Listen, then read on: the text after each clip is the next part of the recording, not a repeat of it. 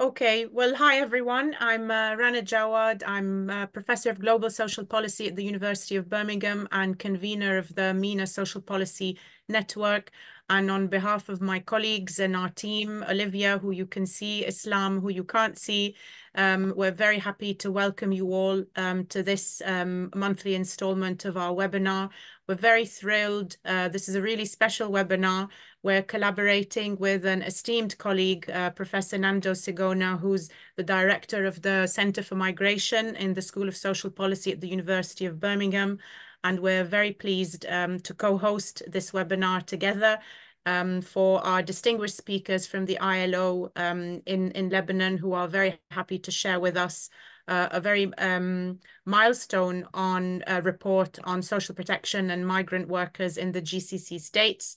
So we have a great pleasure for the next hour, hopefully, in hearing them present their work and discussing their research across the fields of social protection and migration that bring all of us together. Um, uh, some of you may already know uh, these webinars uh, last for an hour. Uh, our speakers uh, speak for half an hour, um, and then we leave time for Q&A. So please post your questions in the chat or put your hand up. And more than anything, uh, switch on your video. This is a very informal discussion session and its technology is already alienating. So if you're happy to switch your video on, we'd really encourage you so that we can have um, some nice discussions. Um, I'd like to just hand over to my colleague Nando for um, uh, an introduction from himself, and then we will um, get on with um, the presentation, please. Nando.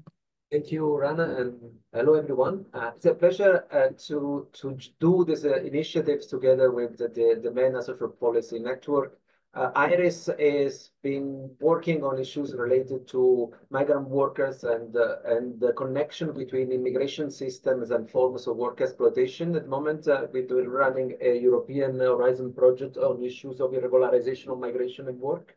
Uh, so we were very keen to also to to start this conversation and particularly working also uh, the importance of work that ILO has been doing on the area of social protection of migrant workers is particularly important to us. So it's great to be here and to join. That's fantastic. Thank you so much, Nando. So I shall just introduce our speakers. I'm sure they need no introduction as well. They're leading lights um, in this area in the region. Um, so as we've said, they're presenting their report on the state of social protection for migrant workers in the GCC countries. Uh, they are Dr. Luca Pellerano, who is a senior social protection specialist for the ILO in the Arab States region. He has provided technical assistance on the design, implementation, and evaluation of contributory and non-contributory social protection systems and programs in the Arab region, Sub-Saharan Africa, Eastern Europe, and Central Asia. Prior to joining the ILO, uh, Luca led the poverty and social protection team at Oxford Policy Management and uh, in the UK and served as a senior, as a research economist at the Institute of Fiscal Studies, also in London. Um, also very pleased to introduce Dr. Lea Bou Khater, who is a social protection technical officer at the ILO regional office for the Arab states since 2021. She is a former lecturer in development studies at the American University um, the, of Beirut in Lebanon, and she earned her PhD in development studies from the School of Oriental and African Studies um, at the University of London.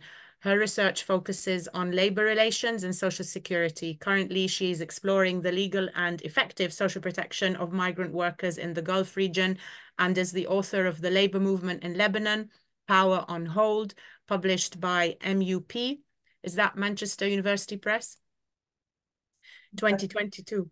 That's great. Fantastic. Welcome, everyone. Um, over to you, please, uh, Luca and Lea. Thank you. Are you happy to share your slides? Yes. Thank you. Thank you, Rana and colleagues for having us uh, in your webinar. So I'll share quickly my screen. Um, as you can see, the presentation, correct. Okay, thank you. Um, I'm very happy to be uh, with you today to have this discussion together on the findings that uh, we have been uh, working on for the past three years here at the ILO. Uh, first things first, so uh, as you know, social protection is a set of policies and programs that help people um, um, whenever they um, experience one of the nine risks, um, and to prevent uh, poverty and vulnerability throughout their lives. And these nine risks, as per uh, the definition of social protection, would include, for instance, maternity, unemployment, old age, sickness, disability, etc.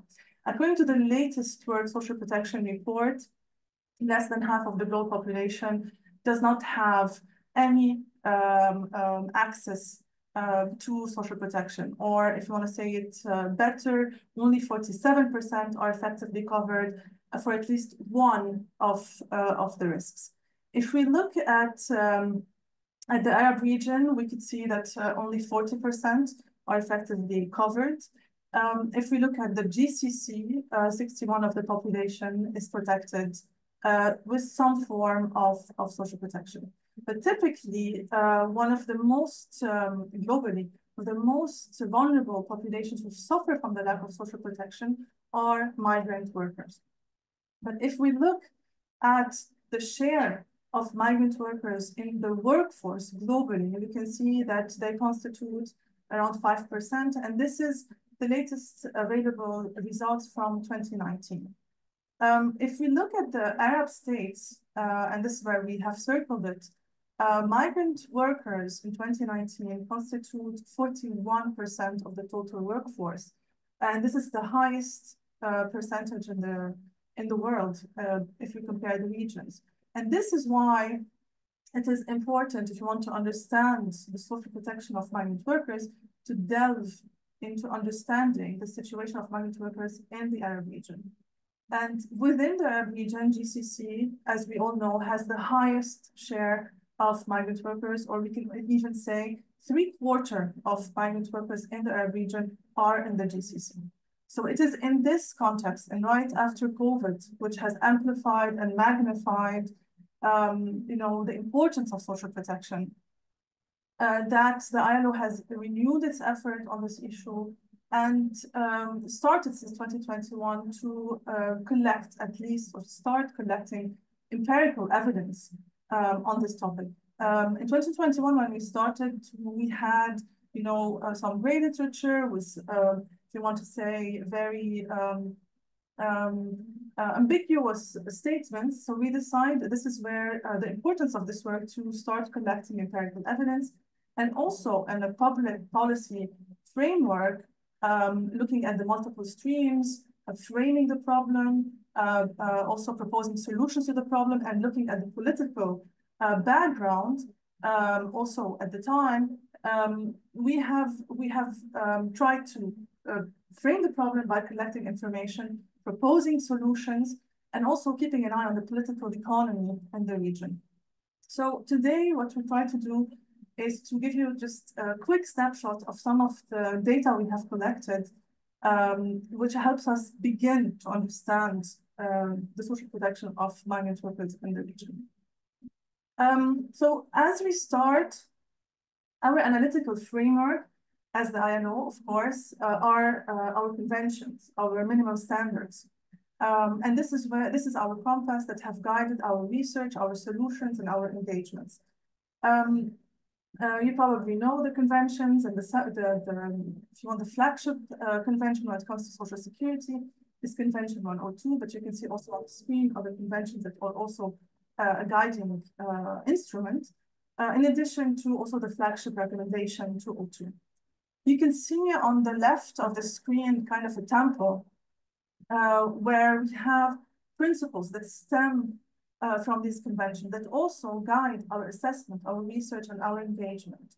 So um, just quickly, so when we talk about universality and our work, we, we the question is, uh, is everyone covered by the schemes we are looking to? Everyone, uh, every individual in the country we are, um, you know, uh, assessing. Uh, uh, and the schemes in these countries. Is it, are they comprehensive? Are these schemes covering the nine risks as per the definition of social protection? Are the benefits adequate? Are they being paid in a predictable way? Are they adjusted periodically? And we also look at the sustainability of these schemes, to what extent they take into account the solidarity of financing, um, are they transparent, the responsibility of the state, etc. It is, it is these principles, in addition, of course, the equality of treatment, uh, to the maintenance of, uh, of acquired rights and rights of uh, impulsive acquisition, if you want to simplify it, to what extent uh, can these benefits be portable and exportable, and of course, the reciprocity. So, um, including also, of course, other principles, but it is these kinds of principles that stem from the conventions that guided our research. So this is, if you want, um, um, the, the, five, the five main uh, research outputs that we have produced. Um, I've tried the QR code. If you get your, your phone close to the QR code, you can scan it and you get to our page where you can find all the reports. Uh, some of them are also available in Arabic. Um, so in our research, we have used uh, mixed methods uh, quantitative and qualitative in a cross-sequential way. So we moved between quantitative and qualitative as was needed and as was possible in the resources that we had. Um, this is just an example, but I just go quickly through it. So as I said, we use our principles to understand and assess what are the schemes available in the region for migrant workers. And as I will show uh, in the next slide, for instance, if we look at employer liability schemes, which is the major type, you know, of social protection, if we can say, in the region, if you look at the principles, they are not, they don't, they don't satisfy the equality of treatment, nor solidarity of uh, financing, nor uh, enforceability of rights and accountability. And also the, the responsibility of the state is almost, um, or let's say, is very scant. Um, so this is our, if you want, uh, our compass. So what we first did uh, of course, we start. We looked at the legal, um, the legal, the legal entitlements of migrant workers um, um, in social protection. We looked at the private sector, and this is a legal review that is, I think, the first of its kind. Um, and we we were updating it as we work, and we could see that a lot of reforms were happening. Um, and this uh, this infographic here uh, kind of flattens, if you want, the the, the findings in a way, and, and the, the type of financing is color-coded. You can see the light blue is for employer liability, and under the, the non uh, the non-national private sector employees quadrant, you can see that this is the omnipresent type of social protection. The red ones are you can see the we can see the invasion of mandatory private insurance when it comes to healthcare. But we can also see, and this is something that Luca will tell us more about, how Oman, this column that is um, the second uh, shade of blue, uh, is moving towards social insurance, the inclusion of migrant workers in social insurance uh, at par with nationals. And this is um, um, really groundbreaking reforms that happened with the support of the ILO that Luca will tell you more about in a bit. Um, we also looked at um, you know, the, the to try to see the region beyond the GCC, what are the schemes and to what extent there is a possibility of, you know, good practices that can be also, uh, that could migrate to other parts of the region. And you could see here quickly how Northern Africa uh, is a progressive sub-region compared to the Levant or the Gulf, where migrant workers tend to be included at par with, um, with nationals. And also we can refer to our publication for more information on that. Um, we also tried here to conceptualize the barriers to social protection. And clearly, what research shows us that uh, when you have de jure uh, social protection, it doesn't really reflect effectively. There's a difference between, um, you know, de jure and de facto social protection or access to social protection. And we try to conceptualize the types of barriers um, um, to, to, to understand, you know, the difference between the gap between uh, de facto and de jure. You can see that are legal barriers, but there are also effective ones. So besides the fact that, for instance, workers can be excluded because they work in a certain sector, like domestic, uh, domestic work, or the nature of employment, let's say if they work in the gig economy, or by nationality. There are another layer that also comes on top of it, uh, which are which are problems of enforcement and compliance, lack of awareness that are also barriers. There are also barriers to adequate uh, social protection, um, such as, for instance, the lack of social protection coordination between these, the countries of origin and destination that does not allow for portability and exportability. And what we also tried to, on that topic, to reflect on, kind of you know, to try to have a vision, if you want, to, for the next maybe decade, uh, we tried to look specifically on the portability, let's say, of end of service indemnities um, in the in the frame uh, or in the context of end of service indemnities reforms in the region, also something that uh, Luca will tell you more about.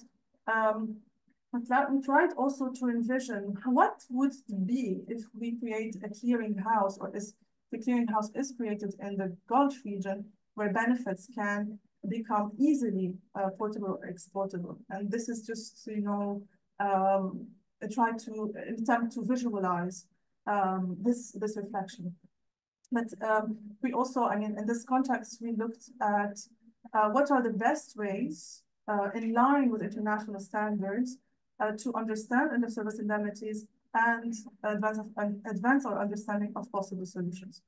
Um, I know I have just I just one more minute to say that as we looked at legal um, types of social protection, um, we had also to, to try with the extent to the extent possible with the time that we have and the resources to look at effective social protection. To what extent uh, do migrant workers have access to effective social protection? And this is where um, what this report, which we can call our flagship report, um, uh, is important. So we tried to look at the six countries of the GCC with interviews, qualitative interviews, and uh, to try to see to what extent migrant workers have access to effective social protection. Um, we tried to show what are, to, to identify at least, what are the drivers and enablers of social protection of migrant workers with the, the qualitative information that we have. And we could see uh, quickly here that the enablers um, include, uh, which is interesting also for future policy work, um, emerging channels for migrant workers representation and advocacy are key to advance the effective access to social protection. International attention and commitments of countries to SDGs, uh, or even to, to other international instruments, or even to national visions that they have in their countries was a driver, we could see it. The COVID-19 was uh, a driver to a certain extent, to a certain uh, period, which is right after the COVID. Barriers um, where the design of the migration system itself, the sponsorship system, is intrinsically linked to uh, the employer liability scheme, which is a very, as we could see, as, as a type of protection that is not aligned to any of the principles of uh, social security that we mentioned. The political economy of the of, of the region is also a barrier that we need to look into. And of course, the limited representation and bargaining power, whether for nationals or non-nationals, is also, of course, an obstacle to the advancement of effective access. Um, there's, of course, more, but we don't have time to, to delve into it, but we invite you to look at our research. Um, you know, and so, so if you want to, you know, look at one of the most central barriers, it's definitely the, the migration system in the, in the GCC. As this migration system today is unfolding or changing, um, this, this has implications and reflections also on the social protection system that we uh, that also we will talk about in a bit. So kafala in itself is of course a main structural factor that limits the access to social protection and reinforces, as I just said, this employer provided benefit that is difficult to enforce, difficult to monitor, um, and has become uh, a burden uh, for uh, uh, you know state institutions to to, to to to enforce or to even address the grievances and the complaints that come from from the system. Now here at that point, what we had um, we did not have enough information to understand effective social protection. And um, we took into account the research ethics, of course, which dictated to protect workers as we interview them on, on, on this issue. And this is why uh, we, we also uh, ventured, if you want, to do additional quantitative research with workers and employers. And here I leave uh, the floor to Luca to tell us more about this. Thank you. Thank you, Lea, and it's a pleasure to join uh, um, indeed this um, uh, conversation with you all today. Um, maybe just one point still on the previous slide, Lea, to sort of highlight uh, that very much th that migration system in the GCC that is built on the notion of a short-term migration um, and uh, very much uh, migration in the in the form of a commodity, if you want, for uh, uh, a specific production system that uh, GCC countries um, you know, run run on uh, reinforces, you know, this notion of social protection as something which has to do exclusively with the employer-employee relationship, as opposed to a matter of public concern, if if you want, and and further re reinforces the notion of social protection as something which should be provided by the employer uh, on a short-term basis, as opposed to involving state institutions uh, in the in delivery of and uh, of of those rights. Uh, but certainly you will have heard about ongoing reforms of the kafala system, partial, not fully complete, but the complete the ongoing rethinking of the nature of migration in the GCC um, opens new space uh, to rethink also the role of social protection in that context. On the one hand, to cover new risks um, such as uh, unemployment, uh, where as countries try to facilitate labor mobility and the transition of workers, migrant workers from one employer to another, uh, but also the emergence of new forms of employment. Lea mentioned the gig, increasing share of gig economy, also the increasing role of self-employment or self, what's called flexi, flexible visas in the GCC labor markets. And finally, the need to establish more systems which are more based on solidarity across uh, different sectors across employers, which is typically what happened in the developed world as countries transition from employer-sponsored benefits to national systems um, uh, to full um, social insurance-based uh, approaches. So what's the landscape in the next slide with um, effective access? Lea gave us a picture of the progress vis-a-vis -vis the legal coverage and showed us some of the gaps in terms of the rights that migrant workers can enjoy, but let's see how those transla translate in terms of effective ability of workers to access some of those essential elements of a decent work agenda, which has to come with uh, protection at different levels. Here we have uh, um, interviewed uh, returnees uh, from one of the most important sending countries to the GCC, Nepal. On the way back from the six GCC countries, we interviewed them at the airport in Kathmandu, and ask them a few questions about their experience with the social protection system in the GCC. And we found a picture which is summarized in this slide and tells us about significant gaps. All the numbers you see here are, are workers who do not access social protection in its different shapes and forms. While the picture is perhaps a little bit more encouraging for health, countries in the GCC have established mandatory health insurance schemes with different uh, uh, characteristics. So only one in four workers do not access health insurance. We see uh, much uh, wider gaps for other types of benefits. Um, for example, paid sick leave, uh, a bit less than 80% couldn't access paid sick, sick leave. Um, employment injury protection, an issue which was very much at the forefront of the debate during the FIFA World Cup in Qatar. 40% uh, had to pay the cost of treatment in the case of an injury. Also, end of service, which is the only benefit available to workers as they leave the GCC. They don't uh, participate in any pension system like we're used to know in the uh, developed world and like um, national workers enjoy. But um, um, very much um, what we find is four in 10, four out of 10 workers have returned home without their rights to end of service being paid. And also because all of these all of these benefits are expected to be delivered and provided by by employer, the only way to claim them is to go through a process of labor dispute or, or eventually to go to court. So we see that only 7% of workers who did not um, uh, feel they were um, given access to benefits they were entitled to actually took the efforts at uh, making a complaint, um, um, um, when sick, and, and only 17 made a complaint in case of unpaid end of service. So really how the power asymmetry, which is built in this short-term migration system we've been talking about and the kafala system more broadly, also affects workers' ability to claim uh, benefits when, when they, even those, if you want limited benefits that they're entitled to by, by law. A second uh, element that this slide shows is also the great uh, um, uh, disparity in access uh, by sector and by income and, and gender. So we perhaps don't have time to go into the details, but you can see how higher income workers tend to be much better covered.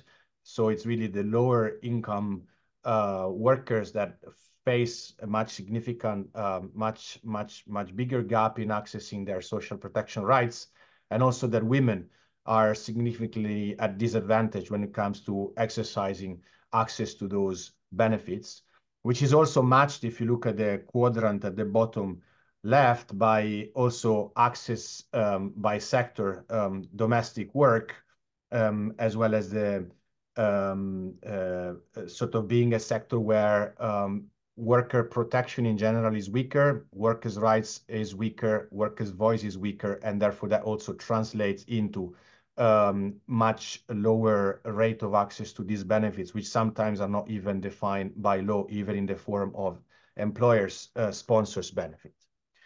So what to do from here? How can this conversation be taken forward? What is the space to bridge this gap? In the next slide, we have asked employers what they think about the current approach to financing and managing social protection.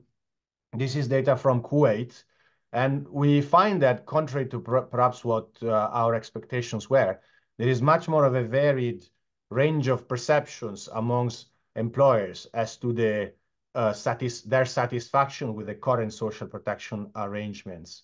We see particularly how small and medium-sized enterprises tend to uh, appreciate uh, or are less appreciative of the way in which social protection arrangements are currently set uh, which, if you remember um, what Lea mentioned, uh, con constitutes a significant burden on workers uh, as they have to directly finance all benefits. Imagine a short, a small, um, a small employer who, in the space of a few months, may face an accident or the workplace, or um, may see a few workers leaving the country and therefore owing large amounts in end of service to those workers, this can represent a very significant burden on small enterprises because there's no mechanism of solidarity in the financing. And definitely during COVID, uh, there has been a major realization of the weaknesses and limitations of these systems, with many workers returning home unpaid, particularly from work from uh, uh, firms of small and medium size. So certainly uh, the financial risk of out of pocket cost and the high responsibility on employers is a point on which countries um, are, um, have, have started reacting and, and we have started seeing some reform in this regard. In the next slide, uh, uh, we, we see also some perspectives from the workers themselves. So we also asked workers about their willingness to contribute to more uh, directly support uh, participation in social protection. And we see that while there is about a third with a bit of difference depending on the type of benefit who are in principle willing to participate in social protection, um, the amount that um, uh, migrant workers are actually ready to allocate to potential contributions to social protection is quite limited and really gets only a bit more significant around $10 monthly. Uh, for workers in the public sector, we tend to be white uh, collar workers at higher levels of uh, education and wages.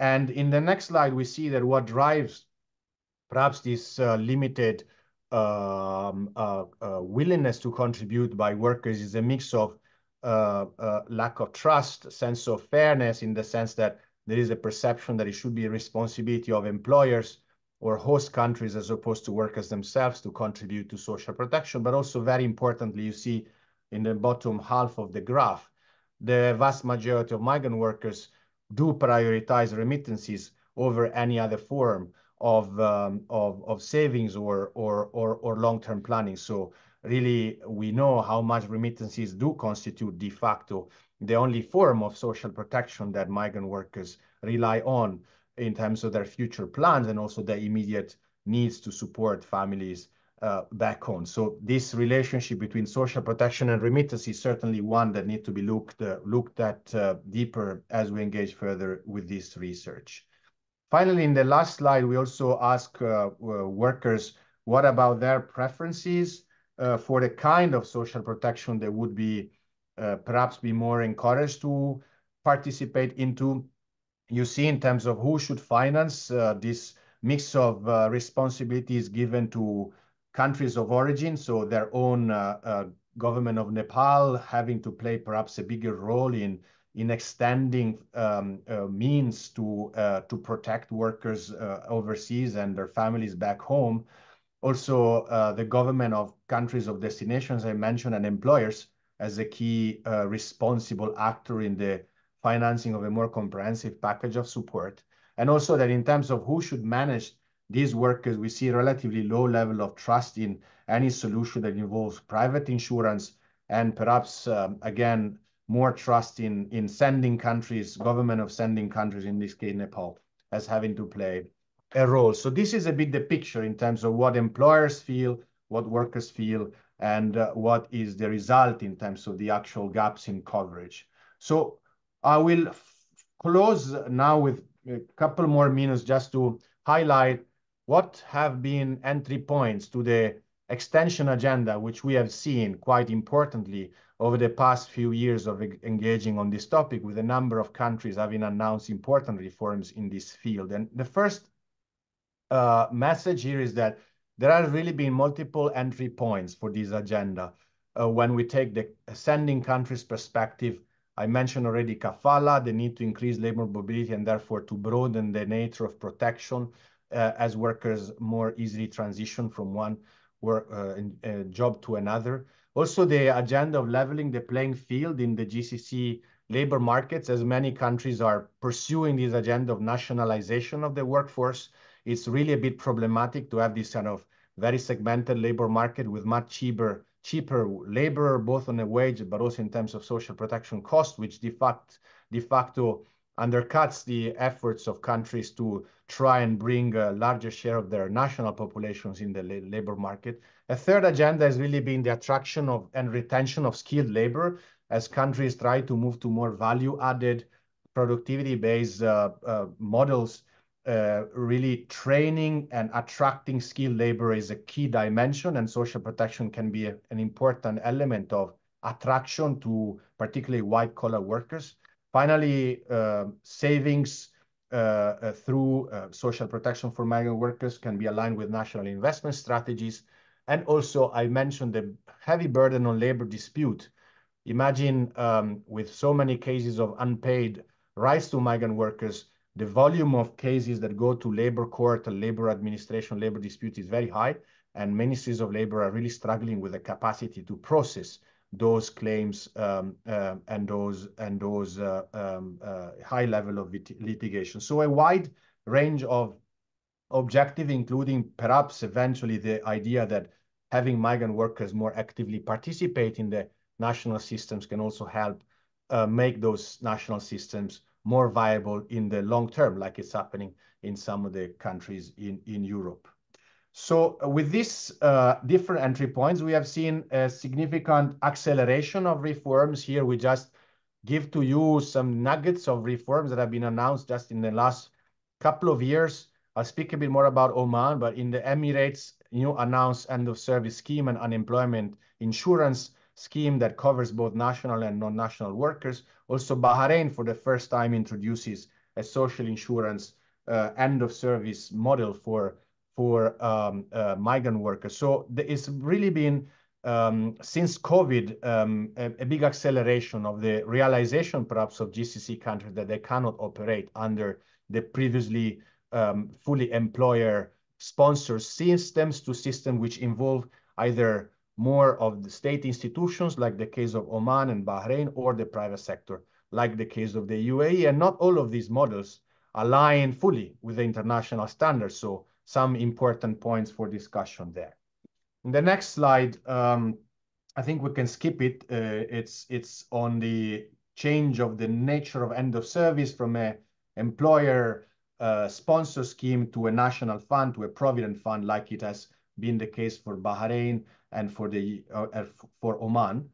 And uh, one element which is also seeing lots of attention is the um, uh, introduction of new uh, systems for health insurance. Uh, typically, migrant workers were um, accessing public health systems um, financed through general budget as national workers. We've seen over the past, I would say, five to 10 years, an important shift towards private health uh, insurance schemes for migrant workers also with the idea of segmenting, perhaps reducing the burden on public health systems from migrants and diverting migrants' health care towards private uh, hospital also as a way to foster both the private health insurance and the private health care uh, business opportunities in the GCC. But it's interesting to see how several countries have put those efforts on hold in Bahrain, in Kuwait, and in Oman, these reforms to private insurance system for health for migrant workers have been designed but put on hold. So something quite interesting to, to follow up there. The country which has by far been more ambitious in these reforms has been Oman. Um, I don't think we have perhaps much time to delve into the details of the Oman reform, but Oman adopted last year a major reform which has completely reconfigured our social protection system merging 11 pension funds into one and establishing one single national social protection institution called the Social Protection Fund, which caters for both nationals and non-nationals, for the first time including non-nationals under a range of new benefits which didn't exist before, a cash sickness benefit, a paid maternity and uh, paternity leave benefit, an unemployment insurance benefit, as well as an end-of-service fund um, uh, to administer end-of-service benefits. The driver of the reforms in Oman has not been, uh, of course, the inclusion of non-Omanis. It has been much more addressing the pension uh, uh, long-term liabilities and fiscal impact of the pension system, as well as establishing uh, perhaps a new social contract in the time of cuts of energy subsidies and other tax reforms and in general to facilitate labor market mobility for nationals from public to private sector. But the inclusion of migrant workers was very much uh, a significant, if you want, byproduct of this reform and one that now other countries should see with lots of interest because Oman is setting perhaps a new benchmark in the region from the perspective of full inclusion of migrant workers in their national systems. Um, I think I'll skip this to say there is still a bit of work to do in Oman. Uh, this is our last slide to give you um, maybe a, a, sense of what are the research questions or the policy questions as, as a team that will continue to engage on this topic. We would like to continue to engage perhaps uh, in closer collaboration with some of you and other researchers in the coming years. One is, of course, whether out of these new uh, wave of reforms in the region, we would see more convergence and di divergence in the approaches that different countries are taking. As I mentioned, some going more towards privatization of social insurance, other more toward involving public administration and gradual alignment of systems for nationals and non-nationals. Uh, will there be a move toward more inclusive approaches or more segmented approaches, which seems to be the case in some countries where there is a tendency of actually uh, further uh, separating the entitlement between nationals and non-national workers. How will eventually these reforms translate from policy change to effective access to social protection? Um, and um, how will the impact be different uh, across different cohorts of the migrant population, particularly uh, white uh, collar versus blue collar workers? Um, a key question for us is the role of sending countries in this debate, which so far have been perhaps a bit more timid in placing social protection as a topic for debate in their um, dialogue with GCC countries on labor migration management. So how big will social protection become as part of the MOUs and uh, other bilateral negotiations that are taking place um, between Asian countries, but more importantly, by African countries, which um, uh, knowing that Afri African sending countries are taking an increasing share of the uh, working uh, migrant workers population in, in the GCC.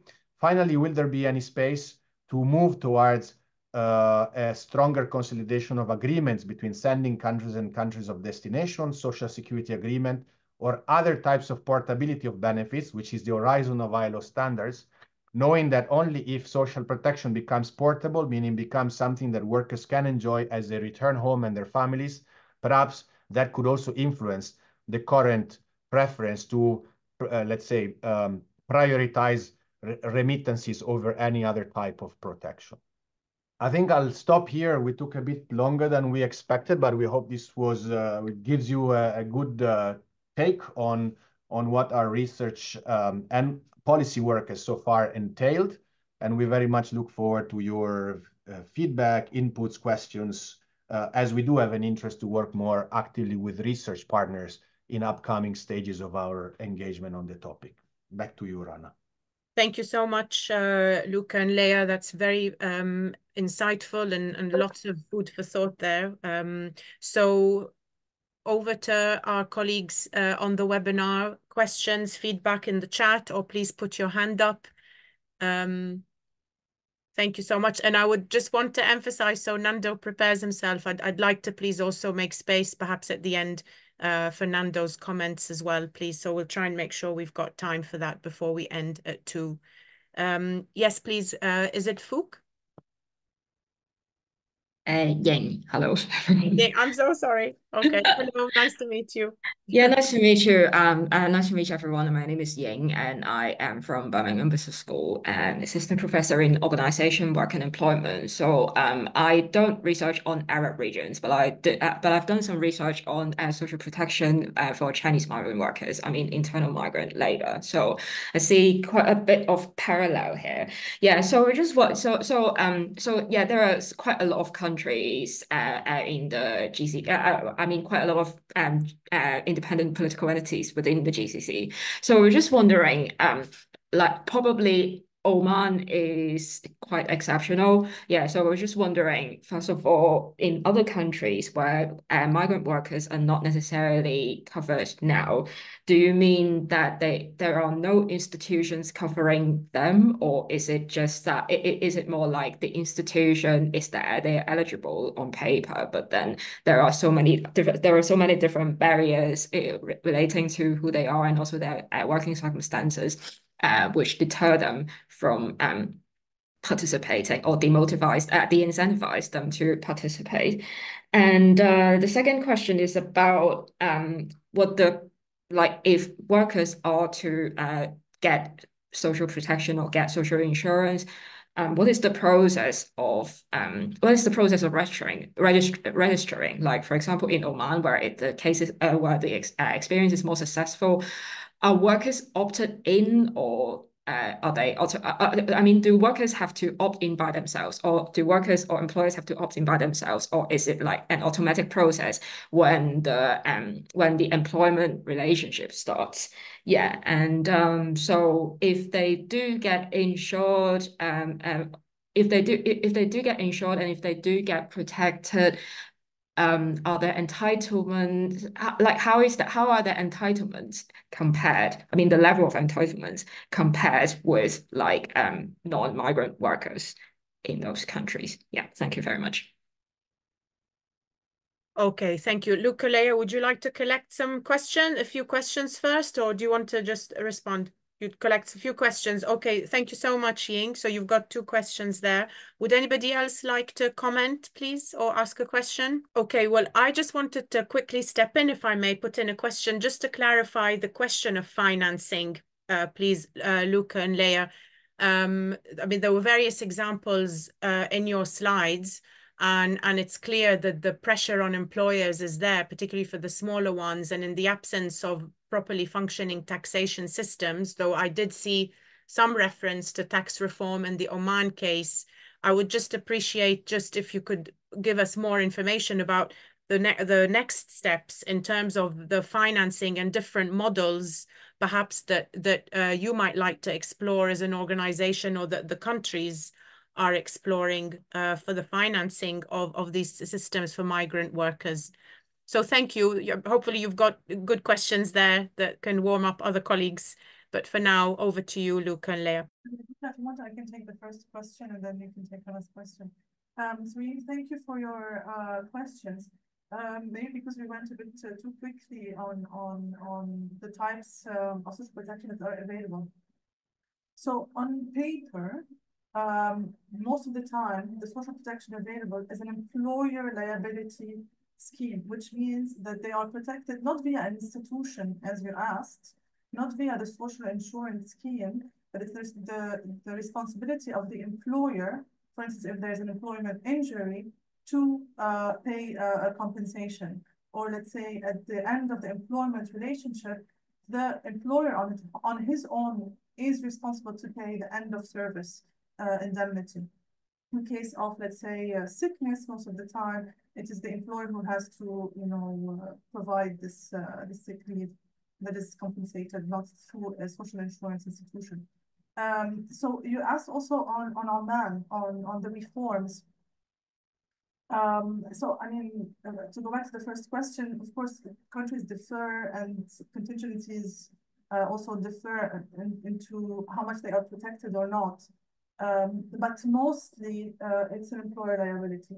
Um, and for instance, if we if you want to talk about healthcare, when we say it's now mandatory but it's pending, it's the employer has to pay for an insurance scheme, for a private insurance. Uh, for uh, for Oman, so um, these reforms imply that it's the employer who has to pay a contribution to the new social protection fund, and it is mandatory in the case of the four contingencies that was that were mentioned, which is uh, sickness, maternity, employment injury, um, and we can also there's like the Provident Fund that replaces end of service indemnity. So this is in short. Thank you.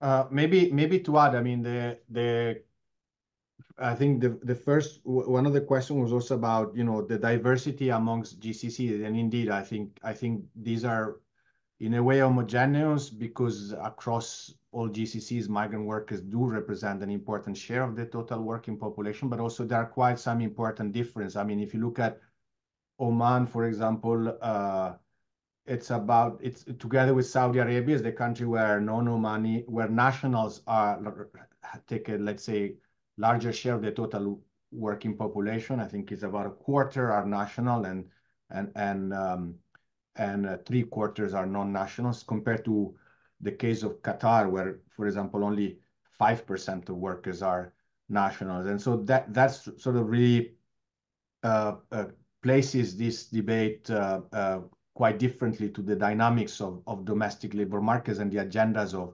inclusion of domestic national workers in labor markets is clearly quite quite important in countries such as Oman or or Saudi Arabia, to some extent also Bahrain. Um, and indeed, the entitlements of, of, of, national workers tend to be quite different to the ones of migrant workers. So uh, the country, the region is known, for example, for very, very generous pensions, pension schemes for, for national workers, not only generous in terms of high benefits, but also very short minimum contributory period. So uh, workers in the GCC, uh, national workers in the GCC are able to retire after a very short period of time. So early retirement, uh, especially from the public sector, is a very typical phenomenon, which also, by the way, depresses or or reduces uh, attractiveness of private sector jobs because many workers are basically waiting for their job in the public sector so that they can get a, a good package and retire relatively early. And, and the reforms we have seen, for example, definitely the Oman reforms have been very much driven by that objective of reducing also that gap between public and private sector jobs in their domestic labor markets to, to attract a larger share of national workers to private sector jobs, which can be more productive. In doing so, rethinking the type of benefits that can also be leveled across the public and private sector workers, as well as with migrant workers. Now, when it comes to um, um, you know, so when it comes to pensions, it's really a, a, very segmented system. Migrant workers don't have any right to pension. They only get end of service, which is quite limited, is in the best of cases, one month per year served.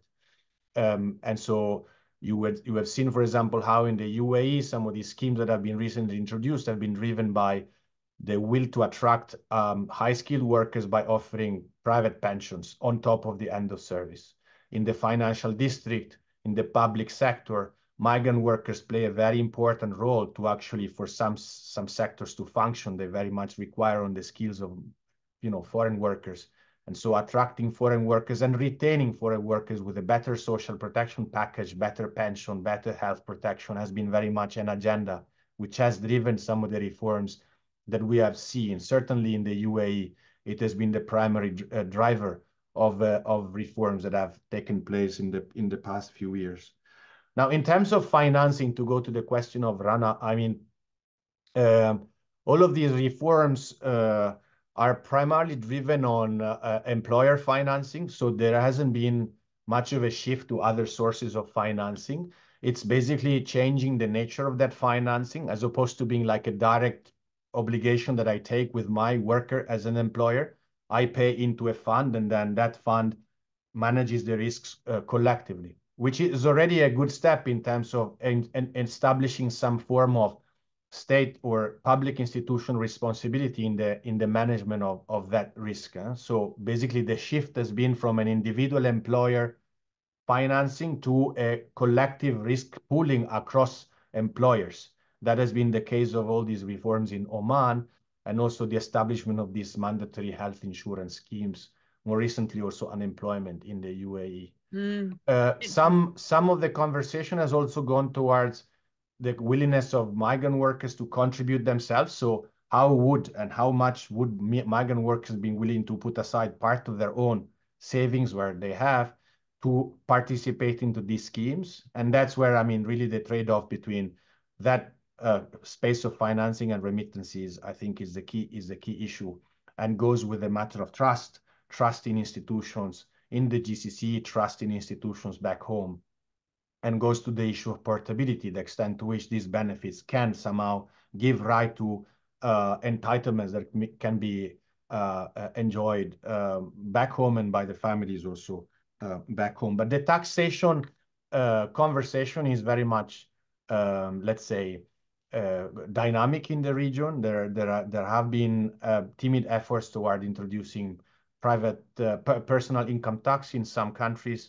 also VAT. I mean, let's remember these are countries which have no form of traditional taxation. All the most of the revenue is through oil revenue. So uh, certainly the reform in Oman is driven also by this gradual introduction of taxation, indirect taxation, VAT, and the willingness to, if you want, compensate national uh, constituents, constituencies with a, um, a, a new package of social benefits that go with that uh, you know, demand to also participate in financing uh, by households and um, and and and workers.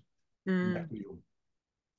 Thank you so much. Very interesting, and I'm sure uh, more could be said. I was just thinking with parallels with it may not be the best parallel, but with the uh, Social Security Corporation in Jordan and uh, and what's happening there with the collection of sub. I mean, they call them subscription fees as well. So it's interesting. But thank you very much for sharing this. Um, would anybody like uh, anybody else like to ask questions or provide feedback, please? Okay, so please. Rana, sorry, can I just add one yes. one small point because I yes. think um, Ying made a made a question about the registration process. So these registration processes are, are rather um, automatic in the sense that they're very much linked with visa status and, and work permits. So there is a automatic link, uh, the, the requirement for private insurance or other types of insurances are kind of wired into the broader labor migration systems. Um, countries also increasingly introduce new wage protection systems and other systems which are all linked. Um, However, there is a new emerging form of employment in the GCC, which is self-employment. I mean, this didn't exist pretty much um, up until recently. Now, with some of the reforms, uh, more flexible visa statuses are emerging.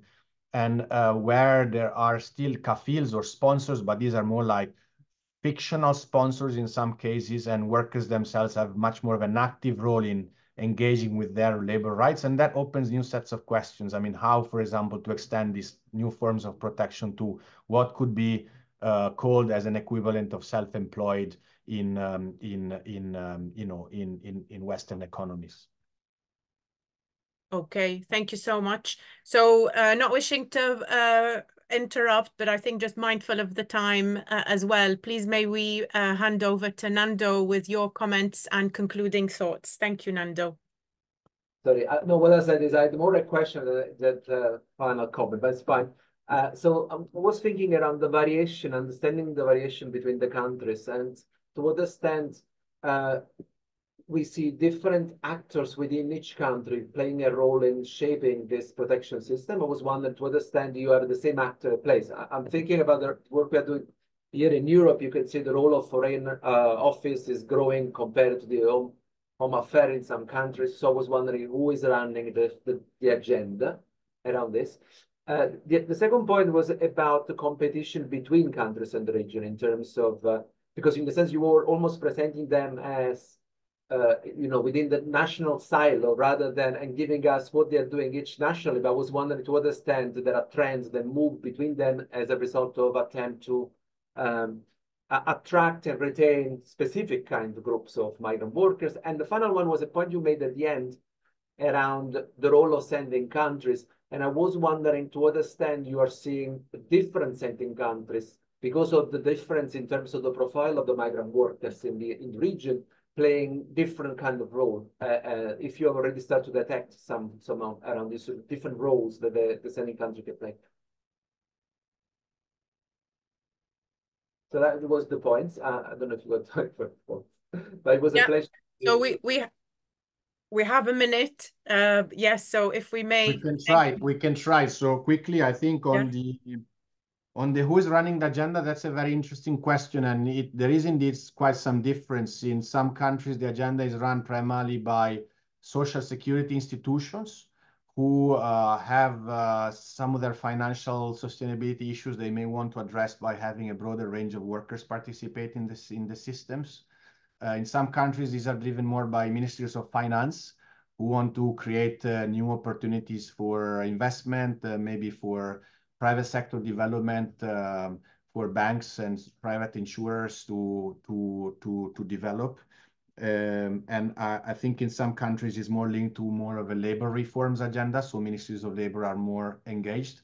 And typically also it's quite a fragmented landscape where not always Ministry of Health and Labor and and the different players sort of uh, work on a coherent uh, uh, uh agenda. So um, in in few countries, I would say there is a a healthy mm, social dialogue environment. So workers and employers organizations are relatively more on the receiving end as opposed to on the driving seat of these of these reforms um, from what we've seen.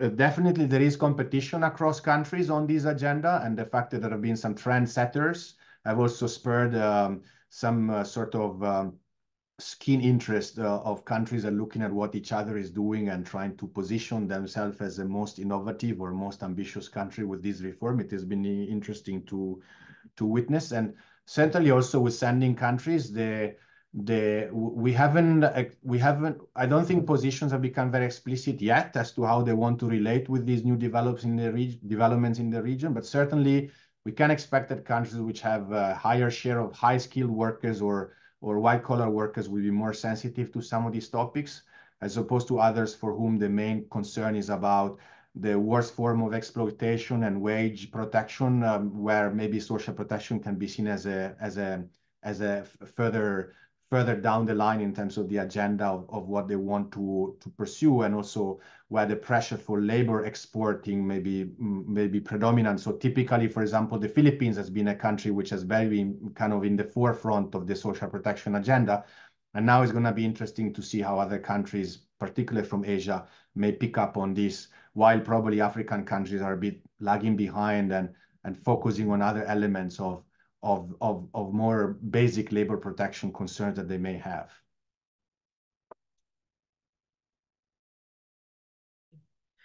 Okay, well, thank you so much, colleagues. We have run out of time, I'm afraid, and um, there will be other meetings to attend. So I'm sure there'll be more conversations. Feel free to connect with each other. And if you'd like to reach out to anyone, let us know. We'd be very happy to put you in touch. Um, thank you again, uh, Lea, Luca. Thank you very much, Nando, for your co-hosting and, and presence and support. Um, all the best, everyone. Uh, hopefully we will meet again um, and a recording of the webinar will circulate soon. Thank you, everyone. Thank you, Olivia. And uh, thank you, Islam. He's there somewhere. Bye, everyone.